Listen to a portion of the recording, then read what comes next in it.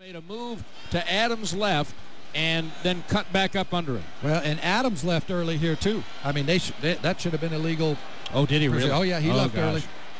Well, now both tackles, excuse me, both right tackles. They've got Strahan and Umenyiora to deal with, and they're jumping.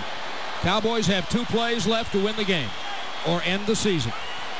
Third and 11 at the Giant 23, 21 seconds. Snap is back on third down.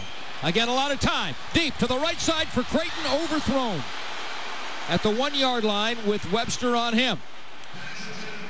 Boy, it, it, almost looked like Brad was seeing Crayton going up the right side. He's in the end zone about five yards deep, but right as he hits the end zone, looked like he pulled up ever so slightly and then kind of started again, almost like he didn't know that the ball was coming his way. Yep, looking at it again, he pulls up.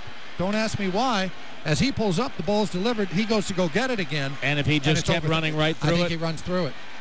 So it's wow. down to one play. A season. Patrick Crayton has not had himself. No,